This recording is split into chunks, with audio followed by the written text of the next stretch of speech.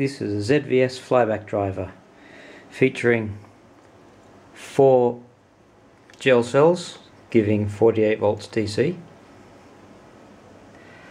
a flyback driver which is standard ZVS a couple of MOSFETs a couple of other things on there using a PCB etched and a flyback good old reliable flyback and well not much else so let's see how this thing goes.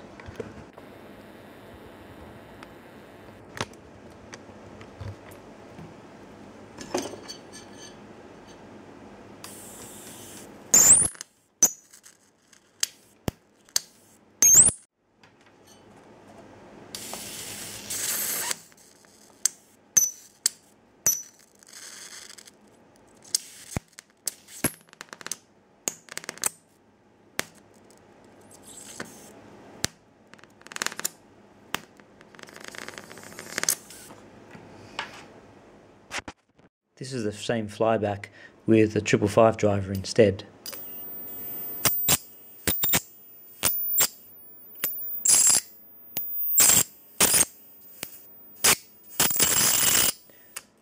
Not quite the same, is it?